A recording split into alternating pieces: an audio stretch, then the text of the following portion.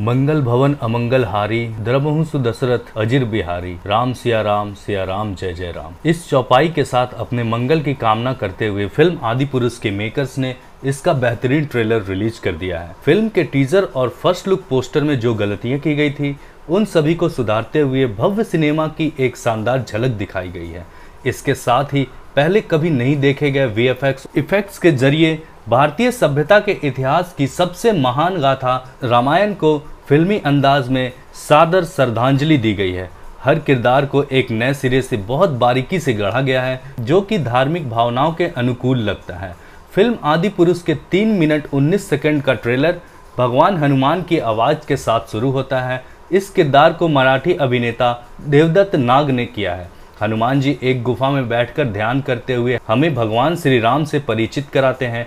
एक इंसान से भगवान बनने की कहानी कहते हैं। इस दौरान श्री राम सीता जी लक्ष्मण के किरदारों की झलक दिखाई जाती है। फ़िल्म में अभिनेत्री कृति सैनन ने सीता जी का और अभिनेता सनी सिंह ने लक्ष्मण का किरदार निभाया है। इसके बाद रावण का किरदार कर रहे अभिनेता सैफ अली खान की आवाज़ गूंजती है। वह कहते हैं, भिक्षा देही भिक्षा देही। सबरी और राम के अद्भुत क्षण को भी ट्रेलर में शामिल किया गया है। श्री राम सबरी से कहते हैं हम जन्म से नहीं, बल्कि कर्म से छोटे या बड़े होते हैं। फ़िल्म के ट्रेलर के अगले फ्रेम में युद्ध की तैयारियों के सीन दिखाए जा रहे हैं। पहले सीन में दर्शकों को हनुमान जी की शक्ति से परिचय कराया जाता है। उनको संजीवनी के लिए पर्वत उठाए, उड़ते हुए दिखाया जाता है। अंगद को श्री राम के दूत में श्रीलंका जाते दिखाया जाता है। वह माता सीता से मिलते हैं, जहाँ वो कहती है, राघव ने मुझे पाने के लिए शिव धनुष तोड़ा था। अब उन्हें रावण का घमंड तोड़ना होगा। हनुमान को लंका दहन करते हुए भी दिखाया जाता है। गाड़ दो अहंकार की छाती में विजय भगवा ध्वज।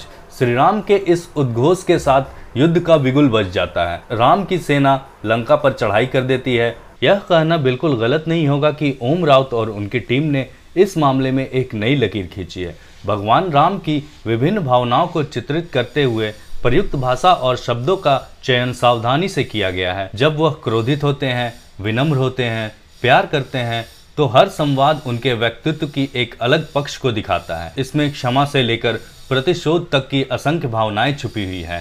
फ़िल्म में प्रभास शरद केलकर और मनोज मुंत की तिकड़ी का कमाल साफ़ नज़र आ रहा है। मनोज के लिखे गए शब्द, शरद की आवाज़ और प्रभास का और, इसे भव्य बना रहा है। बाहुबली के बाद दूसरी बार शरद पैन इंडिया सुपरस्टार प्रभास के लिए अपनी आवाज़ दे रहे हैं। निश्चित तौर पर इसका फ़ायदा मिलने वाला है। सबसे बड़ी बात इस फ़िल्म के मेकर्स ने उनके सभी गलतियों को सुधारा है, जिसकी वजह से लोग नाराज़ थे। जितना संभव हो पाया है, उन्होंने इसे वास्तविक दिखाने की कोशिश की है। यही वजह है कि कहा जा रहा है कि ट्रेलर में अपनी गलतियाँ सुधार के मेकर्स ने अपने सारे पाप धो लिए हैं।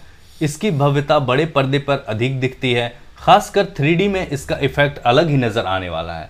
इसकी भव्यता पर्दे पर अधिक दिखाई देगी, खासकर थ्री में इसका इफ़ेक्ट अलग ही नज़र आने वाला है।